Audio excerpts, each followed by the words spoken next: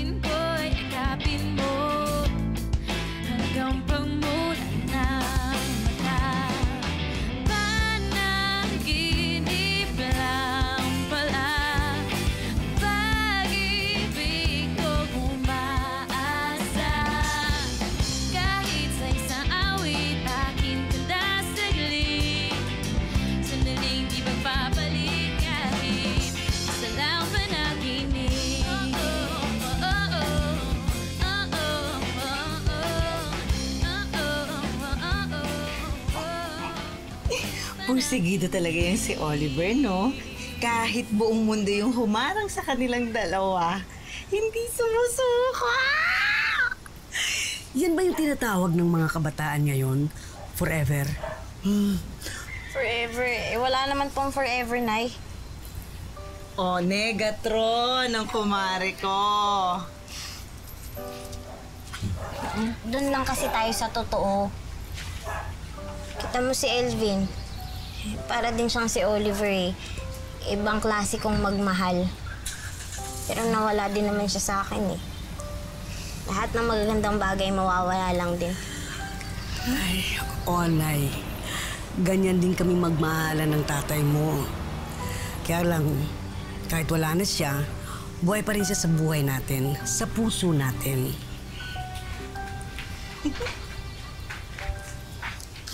Ay, tignan niyo po yung regalo ni Oliver sa akin. Hindi ko pa nakikita eh.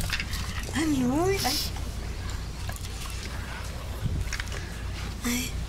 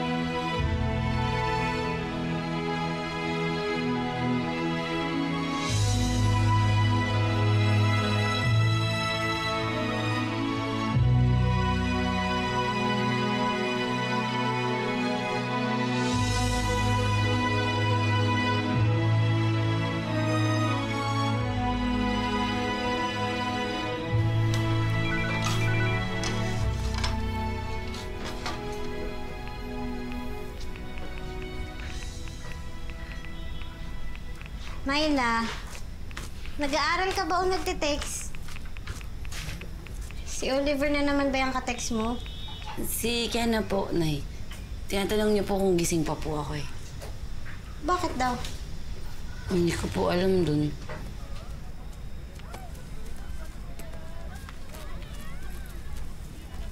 May tao po ba sa baba, Nay?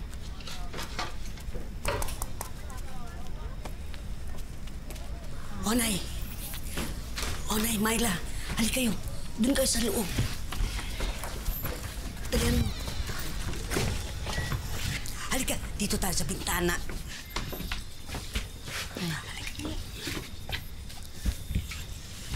Ano pong mayroon, Nay? Brown out ba? Nagbayad naman ako ng kuryente ah. Nay, hindi brown out. Meron po tayong ilaw sa loob eh.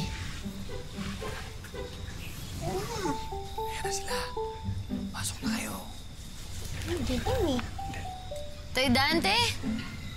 Kayo po ba yan? Oo, oh, ako nga! May kasama po ba kayo? Sino yun? Hi, Bessie! Hi, Nana! Si Ninang.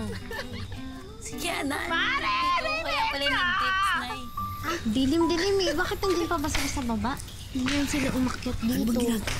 Naku! Sige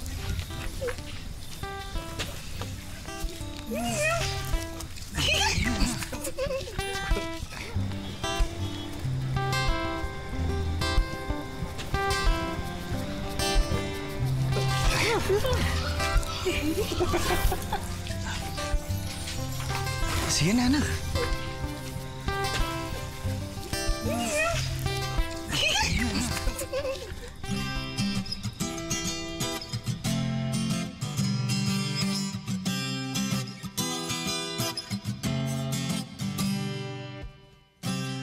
Kailan nga.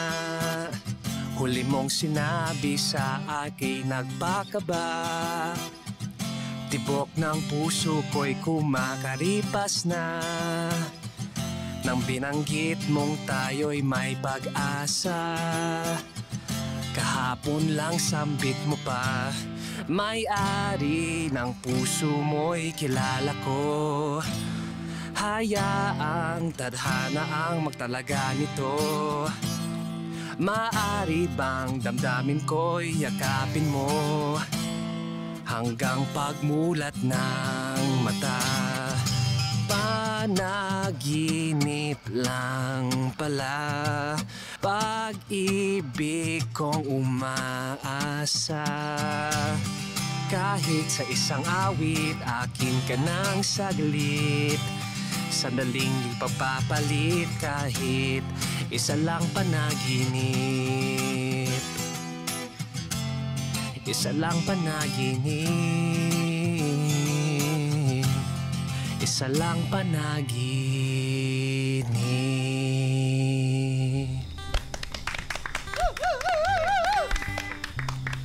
Baba po ako, Nay. Okay lang po ba? Magbihis ka muna. Magbihis ka. Opo. Sige, dalihan mo.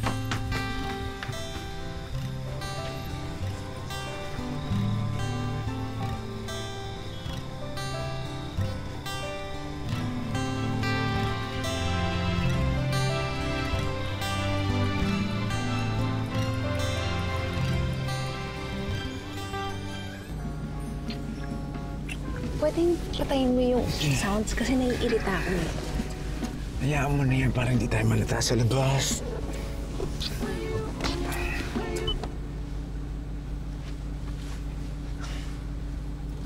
Let's go.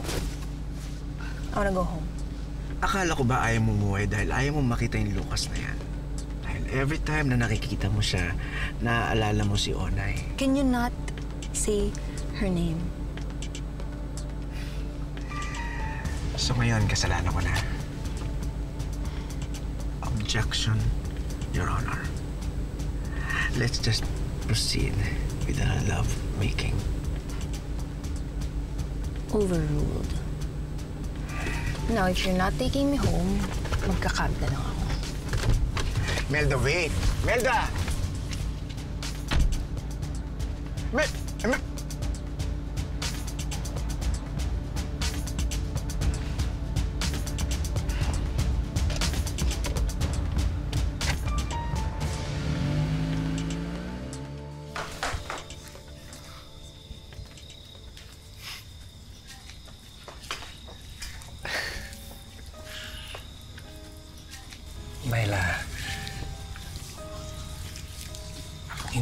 Magsasawang sabihin sa'yo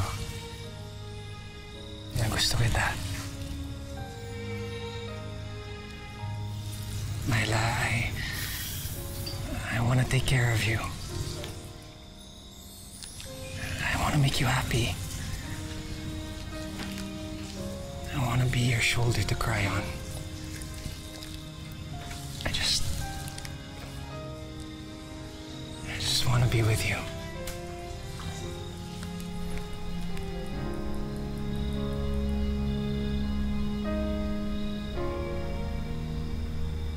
Pareho tayo ng gusto, Oliver. Gusto pa rin kita. Hindi nabawasan yung feelings ko para sa'yo. Sa totoo niyan, nalagdagan pa nga eh. Thank you sa lahat ng effort mo sa akin, ha.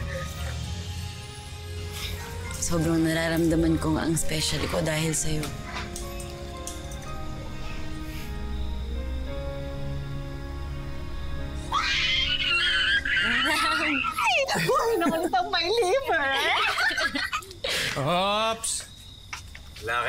Ang final say niyan, ha? Ayan! Aking unay. Ang iingay niyo. Natutulog na yung mga kapitbahay, oh. Onay, maayos ang nakikipag-usap. Kausapin mo ng maayos. Hindi na eh. Itong si Oliver kasi kung ano-ano pang gimmick, dinamay pa sa mga pakulo niya yung tatay niya. Ah, excuse me, mawalang galing na lang. Magandang gabi po, Aling Nela. Onay. Um, actually, idea ko po lahat yan. Hindi po si Oliver. And um, hindi ko naman ho alam na hindi niyo pala ma-appreciate. But anyways, wala naman hong problema eh. Pwede naman ho kaming umalis na lang. And ah, pasensya na po ulit. Sandali lang. Ang gusto ko lang naman, diretsuhin niyo ako kung ano bang gusto niyo.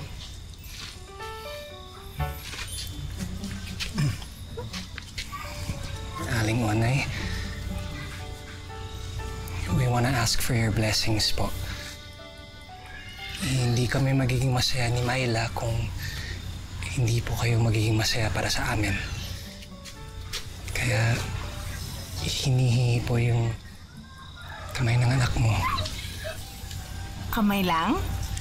Sally, Eh, kamay lang Pati pa yung puso. Aling Onay, I promise to take care of Myla with all my heart.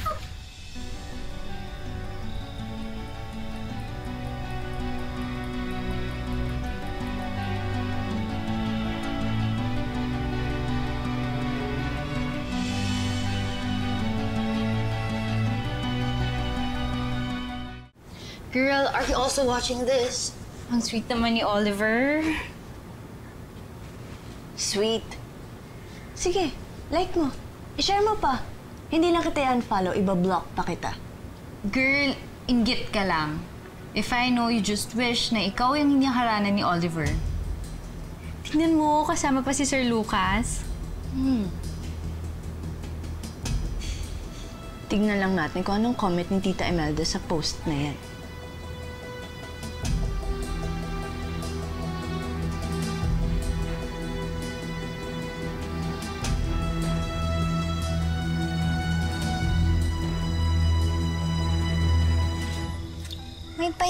Ka pa ng kamay na lalalaman. Eh, di ba sinasabi lang sa babae yun pagpapakasalan na? Eh, babata niyo pa. Aling Onay, ang ibig ko pong sabihin, sana pumayag po kayo na maging kami ulit. Aling Onay, I promise, hindi namin pababayaan ang pag-aaral namin. And I won't do anything to your daughter that you wouldn't want. Promise? Aling Onay, I promise. Aalagaan ko si Myla. I'll never make her cry. Hindi ko siya sasaktan. Kahit anong mali, hindi ko gagawin sa kanya. Shh, sige na. Aling Onay, ano pong ibig mong sabihin?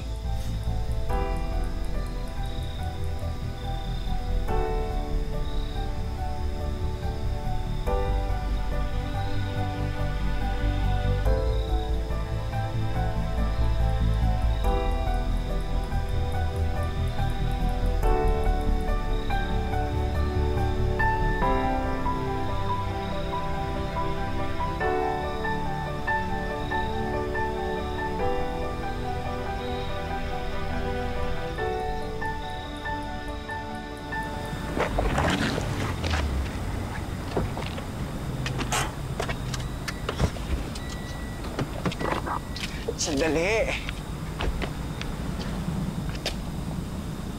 Cellphone mo, naiwan mo. Kanina pa may tumatawag dyan.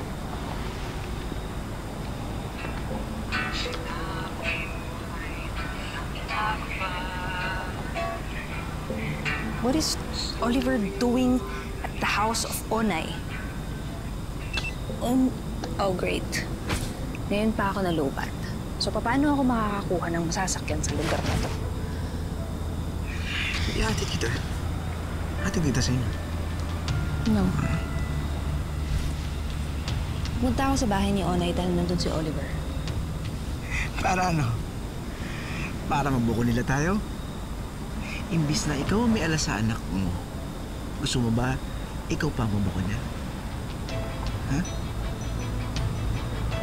Kaya makinig ka sa akin. Ihahatid kita sa inyo.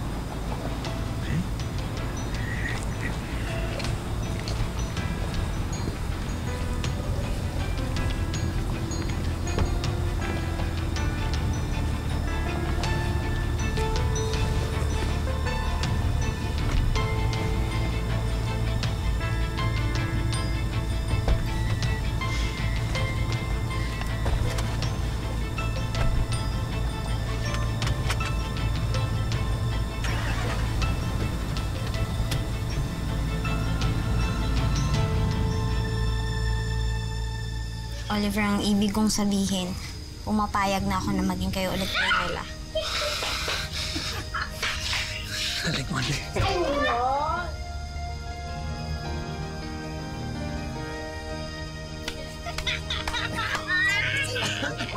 Maraming salamat po.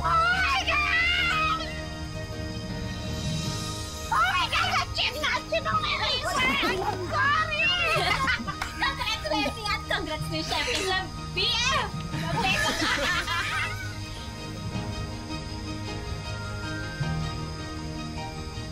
Thank you po. Sobrang sawa ko po ngayon.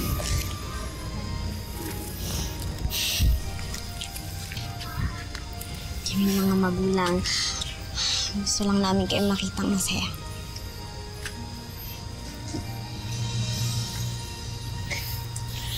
Ah, tsaka, Myla, ah, Oliver, bilang mga magulang din, eh, gusto namin maging responsableng tao kayo. And uh, of course, yung studies pa rin ang priorities, di ba? Yeah, Oliver. Opo. Pangako niyo sa amin na hindi kayo gagawa ng bagay dahil sa kapusukan na. Alam niyo na ibig ko sabihin. Pangako po sa'yo, Aling Onay. Dad, Yeah. we won't disappoint you. Kiss! Ay, hindi. Joke lang. Ay, dala po pala kami pagkain! Yun! Sarap! O, Party! Kain na na!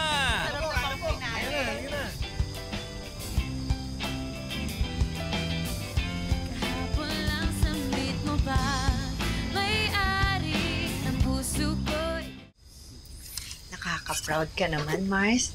Nagawa mong pagkatiwalaan si Myla. Mars, mahal ko si Miley. Kaya ayoko siyang masaktan. Pero alam ko namang hindi siya matututong magmahal kung hindi ko siya hahayaan. Kung madadapa naman siya, nandito naman tayo eh. Hindi naman natin siya iiwan eh. Kagaya ng ginawa niyo sa akin nila nanay. Kaya laki talaga ng pagpapasalamat ko kasi nandyan kayo eh. Naging mabuting ina ako kay Myla dahil sa inyo. Hmm.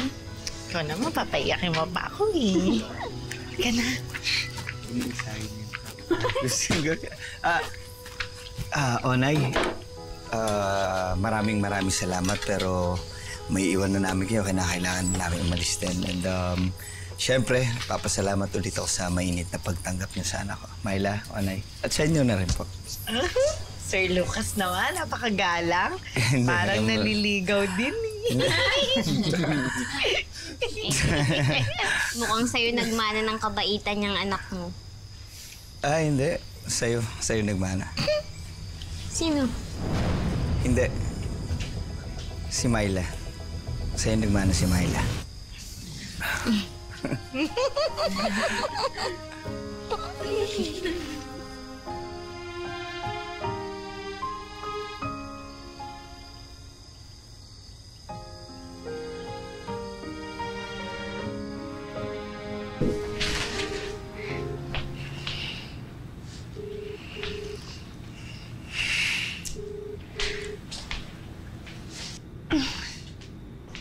kasi ako sinasagot ni Tita Imelda eh. Natalie, just give up. Hindi naman kasi araw-araw ikaw ang panalo. No, Luis! I hate you, Myla. I hate you! Fine, hate her all you want. Habang mas hate mo siya, mas nilalove naman siya ni Oliver.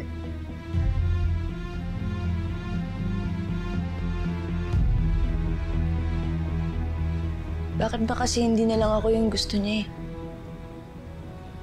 Sana ako na lang. Bakit ba kasi hindi niya ako kaya mahalin?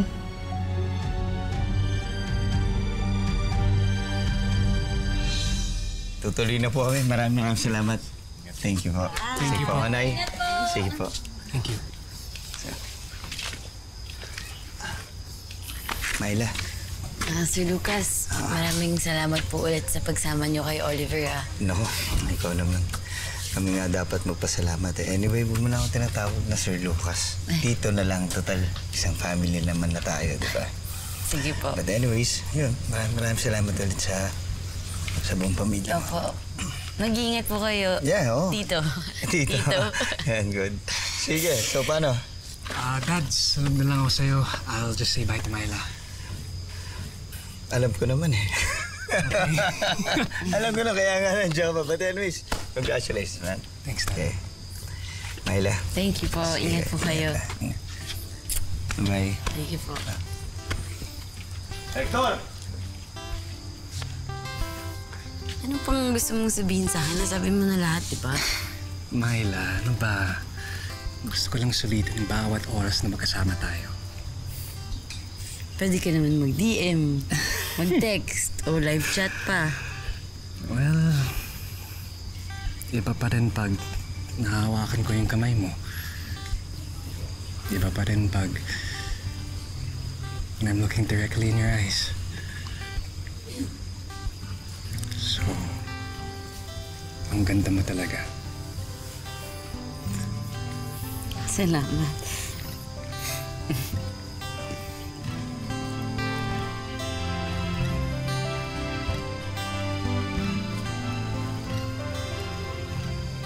Oliver, hindi pa ako ready. Sorry. Huwag kang magtampo ah. Ikaw kasi yung first kiss ko. Gusto ko maging special yun. I understand.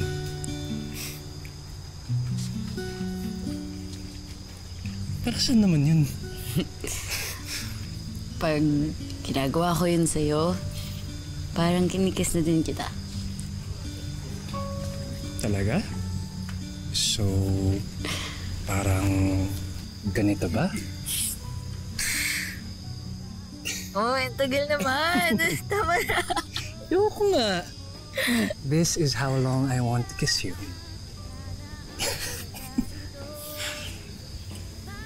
I love you, suman ko. I love you too, Biko.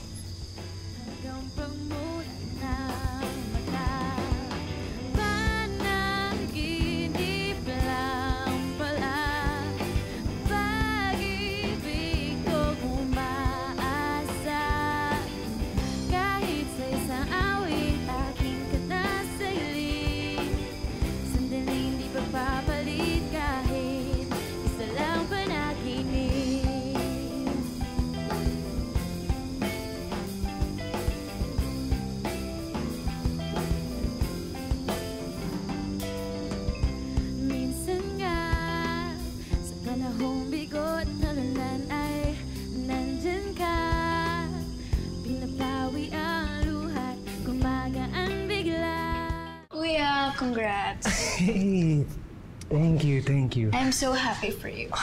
Well, actually, thanks din kay Dad. Bakit? Well, tinulungan mo ligawan ng family ni Myla. No, anak. you prove yourself to Onay.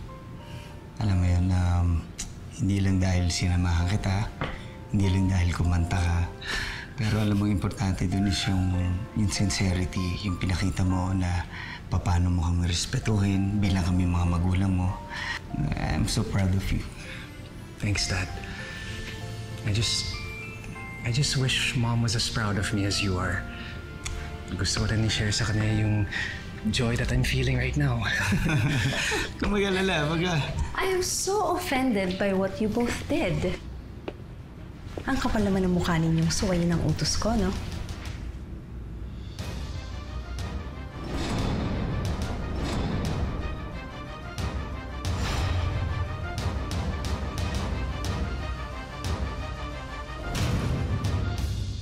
Dahil hindi ka masaya, dapat sila rin. We will make them regret na nagkakilala sila. You really like the limelight, ano? Gusto mo yung pinag-uusapan ka. Like mother, like daughter. Eh kahit mag-tag team pa kayong dalawa, hindi ko kayo uurungan. Mag-ingat ka lang because kahit maliit yung onay na yan, malakas ang charm niya sa mga lalaki. Sabit o wala. Hindi ka man lang ba titingin sa salamin, Onay? Nang sa ganun, makita mo naman yung itsura mo, tsaka matauhan ka.